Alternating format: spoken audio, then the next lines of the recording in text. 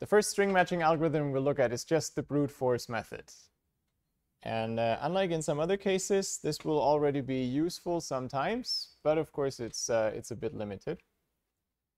Bit of notation, um, most of the string matching algorithms uh, in use and the ones that we look at, they use guesses and checks. Okay, a guess is a position in the text, position i, where um, the pattern could start. And uh, as long as you haven't checked, it's a guess that maybe the pattern starts here in the text. And initially, you have all possible positions as guesses, but you can eliminate guesses if you do some uh, comparisons. And a check is just comparing one character in the text to one character in the pattern. And the outcome of such a check might teach you something. Now, uh, there's a bit of a, an asymmetry here. If, um, if we want to show that some guess is correct, that indeed the pattern starts at position i in the text, uh, you somehow, at least implicitly, have to do all the checks, all the m checks for all the positions. So if you have your guess here, then you have to align the pattern to this and then compare character by character and see that they all match.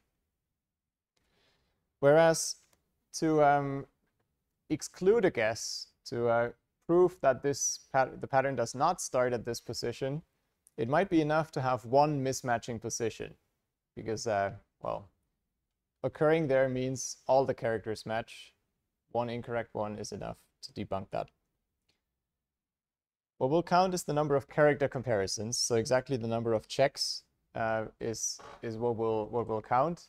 But if you do additional comparisons between the patterns, we'll also count those. The number of checks is at most n times m, just because I'm, I'm assuming if you did a comparison before, you remember it. You don't do it again. So at least the number of different checks is, is at most n times m. And uh, the brute force algorithm just tries all the guesses one after the other. And if it ever finds uh, a match, it's happy and returns, and otherwise it keeps going. So you iterate over all guesses, try all the guesses i, that's all the start positions in the, in the text. And then you iterate through the positions in the pattern and see if you match at each point. So you compare the jth character in the pattern to the jth character in the text, but starting at position i. If you ever find that these two characters are not the same, then you stop this inner loop and continue with the next guess. If you, uh, if you drop out of that loop and you've reached the end, so you could scan behind the entire pattern and all were matches, then you can report a, a match in the text. Let's do a quick example. So here's a, a text written on top of this on, on top of this grid, and we're looking for this pattern ABBA. So what the algorithm would do is it starts looking here. Let me do this uh, a bit slow. So we try to align the pattern with this. So we would do checks A to A matches, B and B matches, B and B matches, but here we have a mismatch. Okay, so that means we drop out of this inner loop before we reach j equals m. No match found. We go to the next position of i and we try again to align our pattern here. But already after the first character, a and B don't match, so we move to the next, next guess. And here the same happens. A is again a mismatch. And again, so you see, even the brute force method is often lucky enough that it doesn't have to do all the checks, just because it might get a mismatch early on. And eventually here we have a few more, but then again, the B be a mismatch. And so it goes all the way through uh, until it here indeed finds an occurrence. So we've done, if you do the count, or I hope I did it correctly, you've done 15 character comparisons in this example whereas the worst case would have been 44. So it, it's not always it's not always so bad to use this brute force method. And uh, I want to point out that Java essentially implements this algorithm with not much uh, fuzz around it.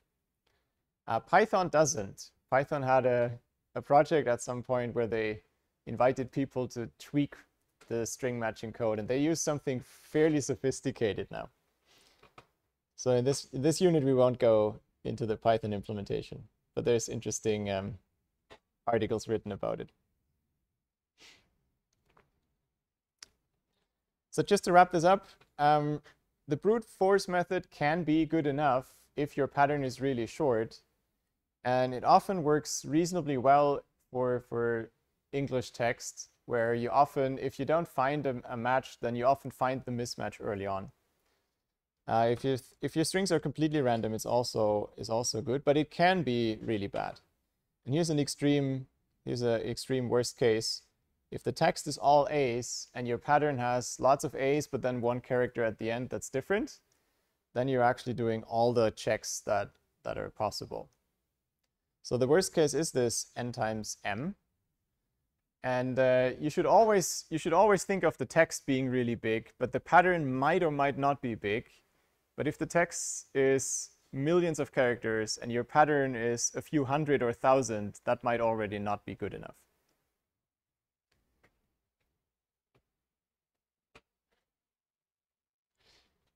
Now, if you look at this, um, I mean, there, there's ways to do much better, but those don't come out of nothing.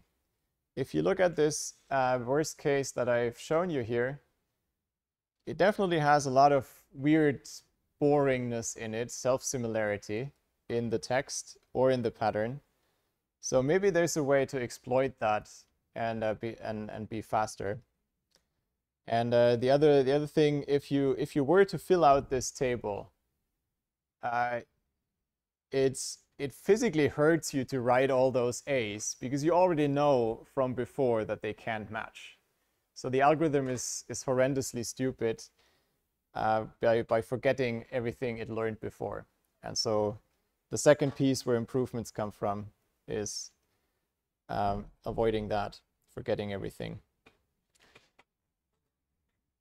Just as a, a preview, we'll look at a few things um, how to improve upon this brute force algorithm by spending some time on the pattern first before we start reading the text. And uh, we'll, we'll see a few different ways to exploit that. Um, we'll also come back to this in Unit 8. I swapped those uh, to better align with the assessments. Uh, we'll come back to this idea of, of string matching in Unit 8 where we'll pre-process the text instead. Totally different idea, but if the text doesn't change, this can make a lot of sense. So we'll, we'll come back to this, um, but for now we'll focus on pre-processing the pattern.